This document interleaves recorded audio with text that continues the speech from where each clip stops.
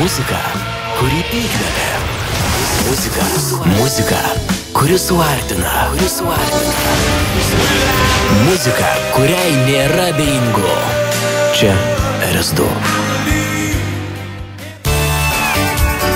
Pokalbis su dienos svečiu.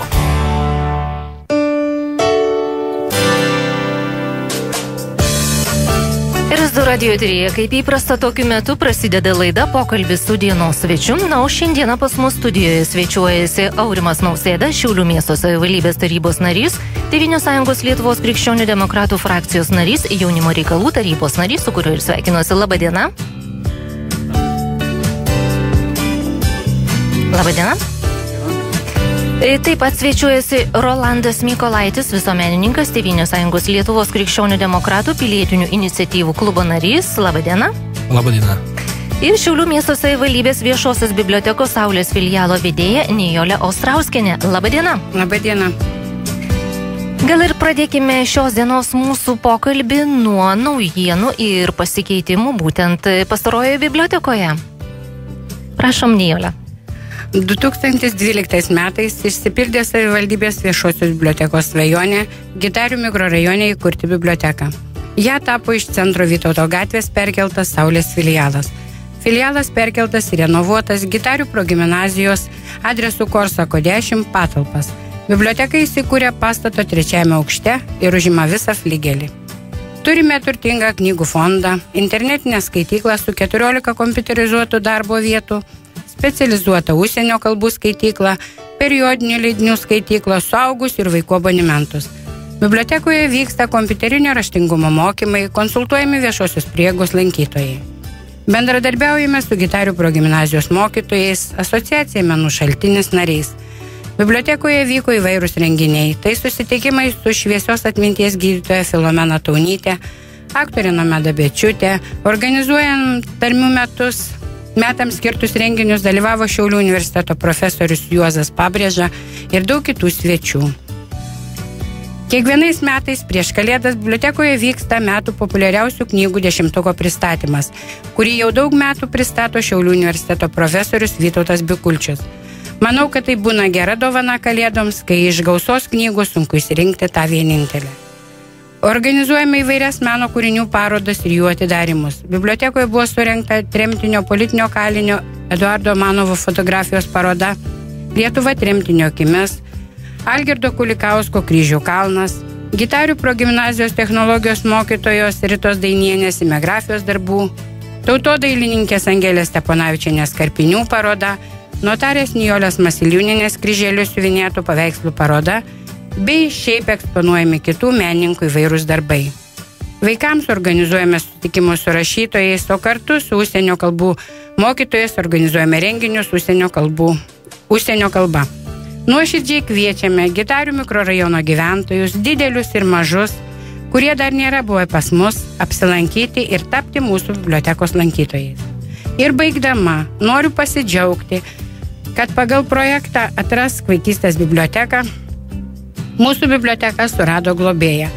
Tai Šiaulių universiteto dėstytoja, Šiaulių miesto tarybos narys Aurimas Nausėda. Gerbiamas Aurimas, būdamas studentas, labai daug laiko praleido mūsų bibliotekoje, tada dar Vytauto gatvėje. Ir labai džiaugiamės, kad nepamiršo mūsų persikėlus į naują mikrorajoną. Ačiū Jums. Ačiū Nijolė už tokį išsamų pristatymą, o dabar galbūt šiek tiek prisiminkime tuos laikus, kai prieš tai buvo ankstesniuose patalpose biblioteka. Biblioteka buvo mūsų graži Vytauto 59 adresu. Turėjome dviejų aukštų pastatą, bet kadangi pastatas buvo nerenovuotas, labai šalome ir turė, buvo daug mažesnė, mažesnis plotas. Ir atsiradus tiesiog galimybei, kad kadangi biblioteka buvo nerenovuota, atsiradus galimybei pereiti į renovuotas patalpas, tiesiog buvo nuspręsta biblioteką iškelt į pietinį mikrorajoną. Aišku, iš pradžių buvo smūgis ir skaitytojams visiems, ir mum pačiom, kadangi biblioteka toje vietoje išbuvo 50 metų ir turėjom pasikeisti. Bet e, ačiū visiems, kurie mus priėmė pietinėme mikrorajone, džiaugiamės ir mokyklos kolektyvų, ir šiaip skaitytojais. Ir negirdėjom nei iš vieno, kad ko čia mus atkėlė, kiekvienas džiaugiasi, kad čia atsirado biblioteka. Nu ir mes esam patenkinti, turim šiltas, gražias, naujas, renovuotas patalpas. Na ir aš to niekiek neįbėjoju, Nijolė, jūsų prieš tai išvardinti privalumai, tikrai jų yra žymiai daugiau negu ankstesniuose patalpose buvusi biblioteka. Pokalbis su dienos svečiu.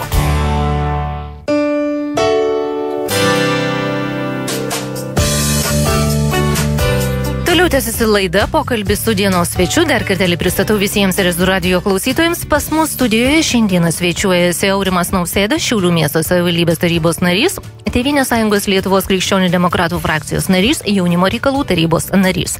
Taip pat Rolandas Mikolaitis, visuomenininkas Tevinės sąjungos Lietuvos krikščionių demokratų pilietinių iniciatyvų klubo narys, ir Šiaulių miesto savivaldybės viešosios bibliotekos Saulės filialo vedėja Nijolė Austrauskinė, kurios pasisakymą pas džiaugsmus apie bibliotekos perkelimą į naują patogesnę vietą mes jau girdėjome. Dabar dar kartelį paprašysiu Aurimo Nausėdos pasakojimo komentaro būtent apie bibliotekas, nes dėl techninių kliučių mūsų Restų radio klausytojai jos negalėjo girdėti pirmoje laidos dalyje.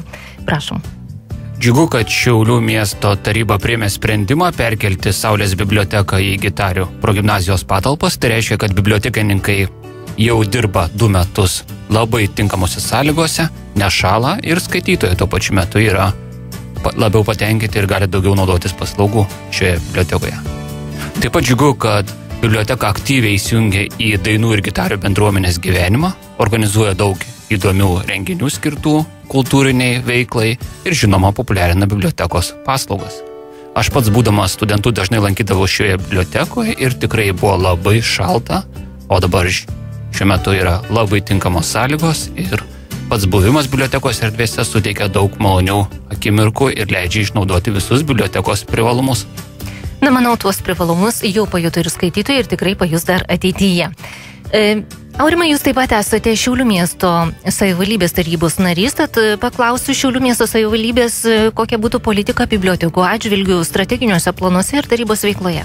Tenka apgailestauti, kad bibliotekos minimos tik viename strateginėme plane, tai yra Šiaulių miesto strateginėme 9 metų plane. Šiaulių miesto strateginė 9 metų plane yra nurodyta, kad labai svarbu yra stiprinti informacinę bibliotekos duomenų bazę. Tai šiuo atveju skiri daugiau lėšų per tos 9 metus nuo 2007 metų iki 2016 metų stiprinti bibliotekos tik informacinių duomenų bazę, vadinamas IT technologijas. Tenka apgailestauti, kad bibliotekos tiek materialinė bazė, tiek bibliotekų fondas nėra atnaujinamas. Manau, kad tai turėtų būti ir aš kaip tarybos narys sieksiu, kad tai būtų įtraukta į būsimą Šiaulių miesto 9 metų ateities planą ir žinoma Šiaulių miesto savivaldybės veiklos 3 metų strateginius planus. Žodžiu, teks pasidarbuoti kaip tarybos nariui kartu su frakcijos nariais iš Tevinės sąjungos Lietuvos krikščionių demokratų ir kitų frakcijų atstovais siekiant, kad atsirastų tinkami sprendimai ir kad būtų skirtos lėšos bibliotekos fondų atnaujinimui ir žinoma kultūriniai veiklai aktyvinti dainų ir gitarių bendruomenėse. Kągi tikėkimės, tikėsimės palankių sprendimų būtent bibliotekams. Na čia vėlgi padarysiu pašnekovams, paprašysiu už pokalbį, padarysime trumpą muzikinę pertraukėlę, po kurios tęsime mūsų pokalbį. Pokalbis su dienos svečiu.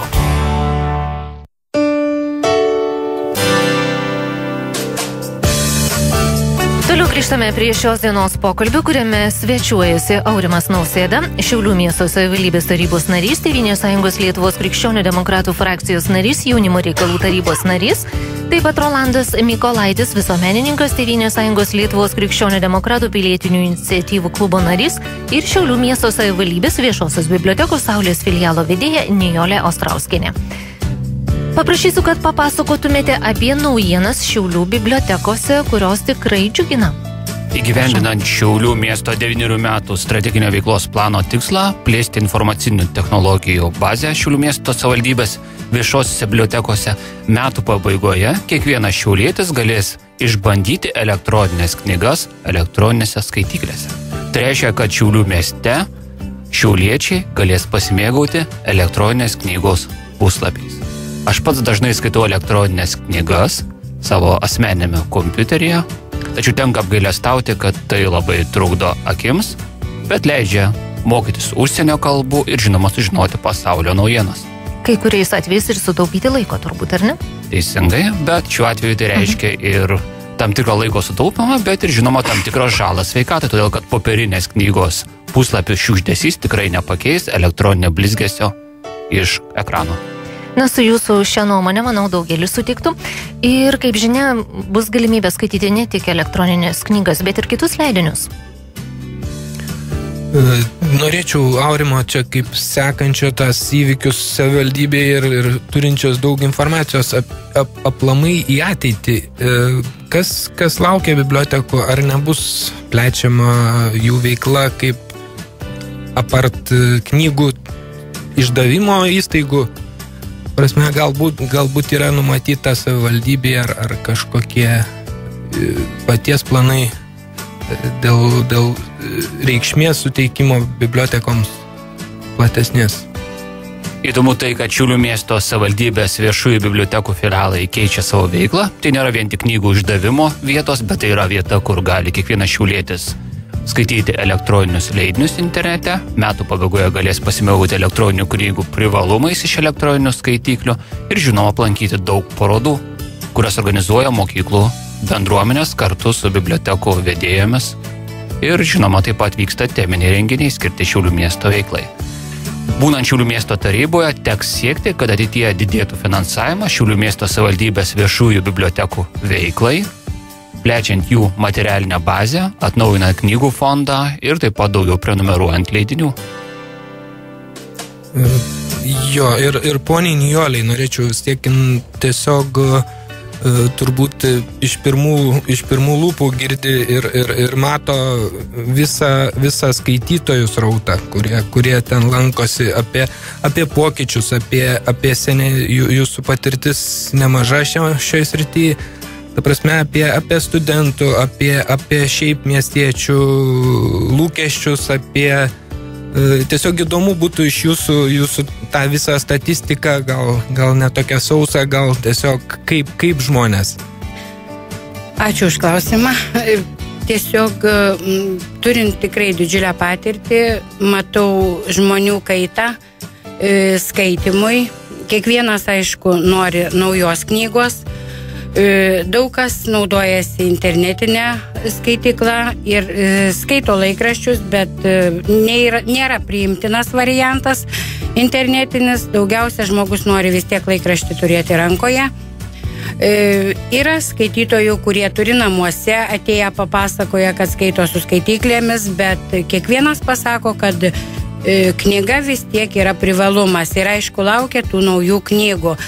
Aš Ir čia nenorėčiau. Trupučiuką įsitirpsiu, anksčiau buvo nuogastaujama, kad elektroninė knyga ar tai leidiniai nurungs tą popierinį knygos variantą, bet kaip matome, kad kol kas negresia visą tai.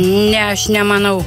Nemanau, todėl kad, kaip pasakyti, vis tiek knygos nepasimsi kelio, e, elektroninės knygos nepasimsi kelionę, nepasimsi prie jūros, kaip daug kas sako, e, nu nepasimsi atostogom. Galų gale vis tiek tai yra knyga, kurią tu su malonumu atsigulės ar lovai paskaitysi, ar galų gale, kaip aš pati turiu anūkus, pasaka, tai vis tiek skaitai tą knygelę ir jauti visą tą malonumą iš tos iliustracijos, iš tos visos knygos.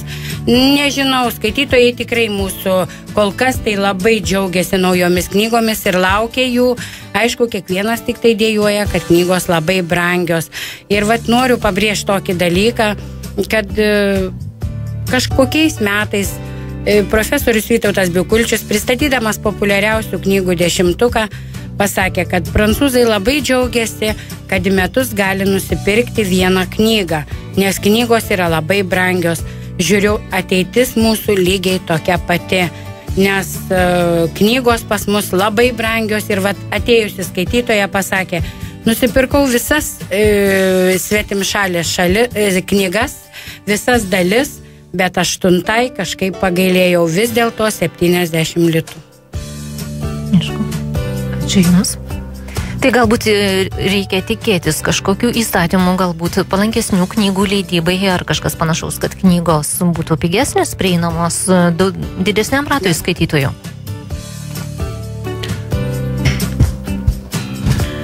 Akivaizdu, kad Šiaulių miesto savivaldos atstovai gali inicijuoti tam tikrus teisės aktus, veikdami kartu su Šiaulių miesto apskrities, kitų savivaldybių atstovais ir žinoma su šiauliečių išrinktais Seimo nariais, kad būtų lengvatinės sąlygos, kurios mažintų knygos įsigijimo kaštus knygynuose. Aišku. Ačiū Jums. Tai e, bibliotekų perspektyva ne, nėra bloga.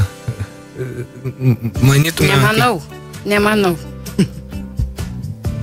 Džiugu, kad Šiaulių miesto savivaldybės viešoji biblioteka sėkmingai konkuruoja su Povolo Višinskio bibliotekoje ir skaitytojų skaičius šiose erdvėse didėja ir ateitie tikrai didės. O Šiaulių miesto politikams norėtųsi palinkėti, kad būtų primami tinkami, racionalūs ir pasverti sprendimai, kurie leistų Šiaulių miesto savivaldybės viešosioms bibliotekoms ir jų filialams veikti tinkamai ir siekti, kad biblioteka taptų kultūros klaidos žydiniu Šiaulių miesto mikrorajonuose. Ačiū Jums. Smagu to ir palinkėsime, kad šie palinkėjimai išsipildytų na, ir paprašysiu kitų mūsų pašnekovų kažko palinkėti Rezu radio klausytojams, prašom. E, Būtent šiauliečiams tai visom keturiom palinkėčiau, kad skaitytų.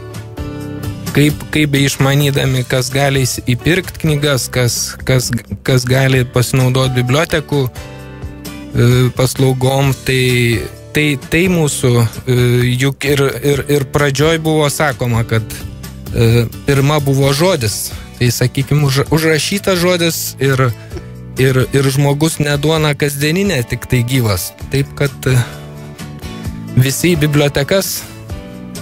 Aišku, ačiū Jums.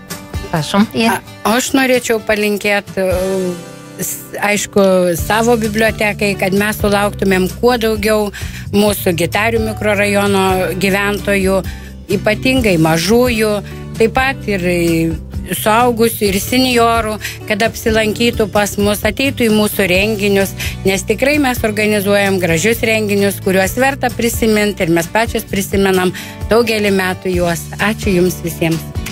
Ačiū palinkėsime visiems Rezu radio klausytojams ilgus rudens žiemos vakarus praleisti su knyga ir priminsiu, kad šiandieną dienos svečio laidoje pas mus svečiavusi Aurimas Nausėda, Šiaulių miesto savivaldybės tarybos narys Tevinės sąjungos Lietuvos krikščionių demokratų frakcijos narys, jaunimo reikalų tarybos narys, taip pat Rolandas Mikolaitis visuomenininkas Tevinės sąjungos Lietuvos krikščionių demokratų pilietinių iniciatyvų klubo narys ir Šiaulių miesto savivaldybės viešosios bibliotekos Saulės filialo vedėja Nijolė Ostrauskenė. Ačiū mūsų svečiams, palinkėsiu sėkmės.